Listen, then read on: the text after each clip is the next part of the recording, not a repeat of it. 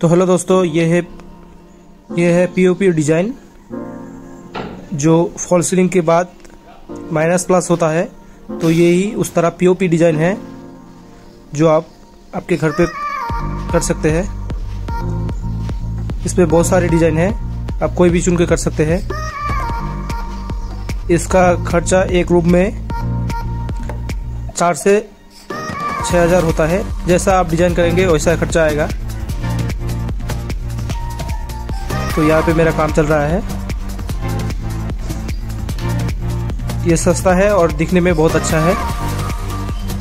आप अपने नज़दीकी दुकान में कहीं से भी कांटेक्ट करके कर सकते हैं।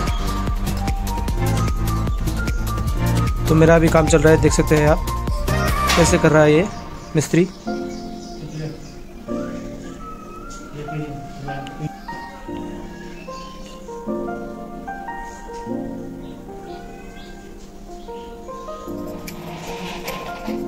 ये पोटिंग है जो पीओपी पोटिंग है उससे कम काम कर रहा है।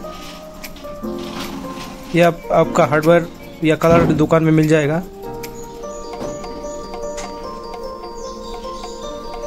तो आप भी ऐसा कर सकते हैं। आपके घर की जो छत है वहाँ पे